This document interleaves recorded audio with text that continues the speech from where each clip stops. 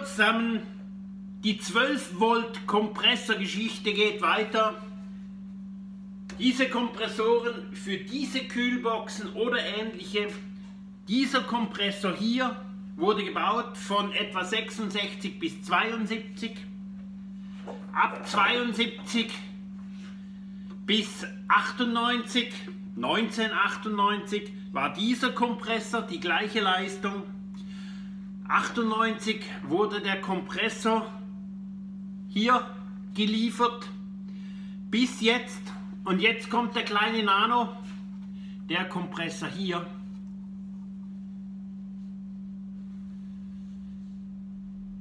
Der hat die gleiche Leistung wie der große hier drüben. Ich wünsche euch einen schönen Tag.